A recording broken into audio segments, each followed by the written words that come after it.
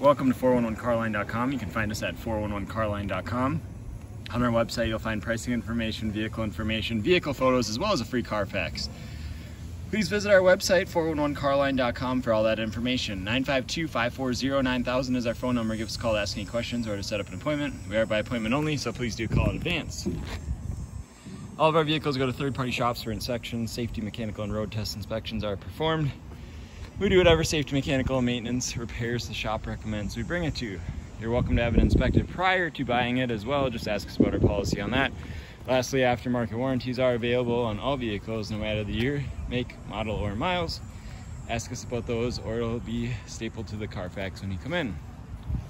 We have this 2003 Pontiac Vibe. Came from the East Coast, but I buy based on underside photos as well as the Carfax and miles.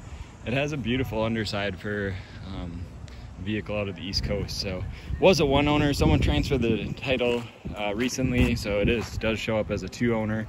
Um, but go over the overall condition. Front bumpers in beautiful shape. Uh, all the plastics, it looks like someone tried to, um, they get kind of like a faded color. It looks like someone tried to either clear coat them or something, I'm not sure.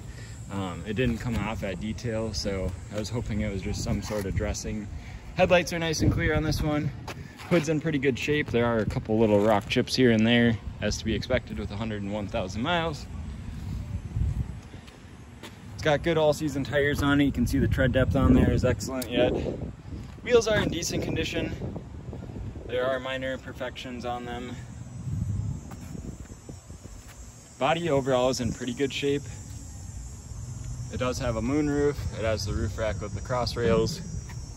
Has vent visors on it. This one here is cracked, but those are kind of handy for when it's raining. So these are often used to car camp or especially uh, um, road trip and that sort of thing. So,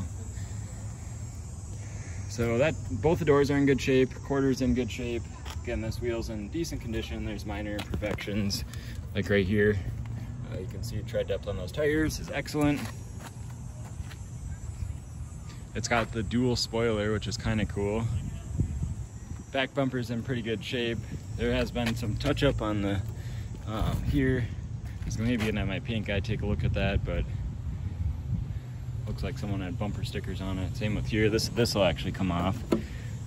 Detail should have taken that off, but I do need to get a tail light. I'm aware of that. It's got a little crack in it. So all the wheels are in pretty similar condition. The side of the body's in pretty good shape as well. That water spot under it's from the AC. I uh, had the AC running, so. Show you the underside here.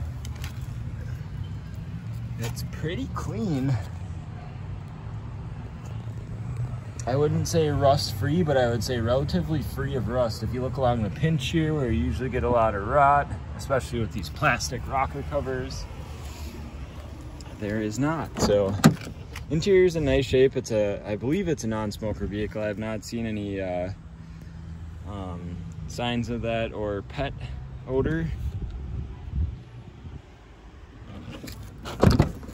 So the best thing about these, um, is this back seat folds completely flat. You can also, with this little handle here, fold this front seat. I'm not gonna do it because my camera's sitting there, but the front seat folds flat as well, so a whole human being can stretch out and sleep in one of these.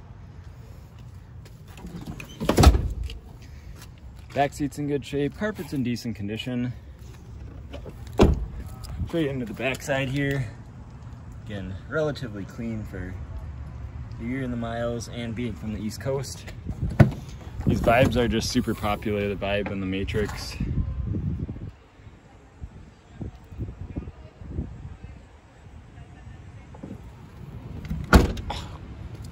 Put you under this side. Again, relatively clean.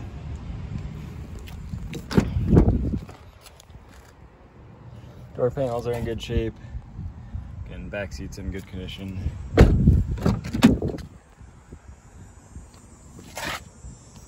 Driver's seat's in decent shape, no rips or tears. Expect minor staining and that sort of thing, minor carpet wear, as to be expected with the year and the miles. Hop in, start it up for you here. Looks like this one does have two keys, does have a fob as well. ironically the same as Toyota fobs.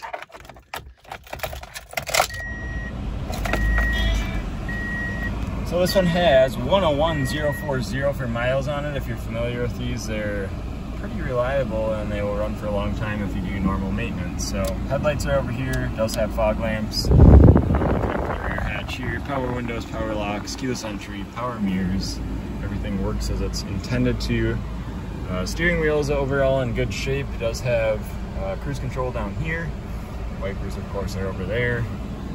No lights on the dash, it's been fully serviced. Uh, we did do front brakes on it, I recall. I don't recall what else offhand. Maybe a valve cover gasket, can't remember, but automatic transmission runs drive shifts well.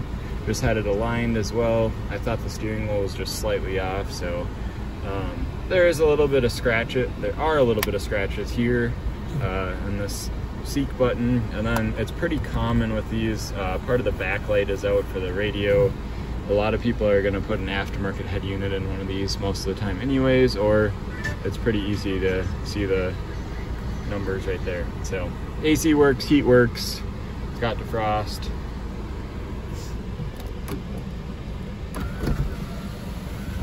check the operation of the moonroof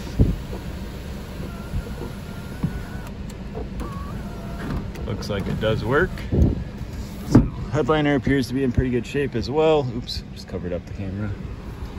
Check for a manual. It does have a manual in there. I guess if you want the uh, RPO codes, they're in here.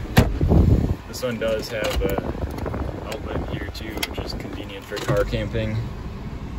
People use these for normal driving, of course, too. I just see a lot of people using them for utility vehicles. So I think that's about it on the interior here. Let's uh, hop out, I'll show you under the hood here. Hood release is right there, just like a Toyota. My phone does pick up small engine valve train noise, so sometimes it's a little more ticky or clicky than it would be in person. Relatively clean under here. Um, minor surface rust in, in, some areas, like the hood latch, and but nothing too major.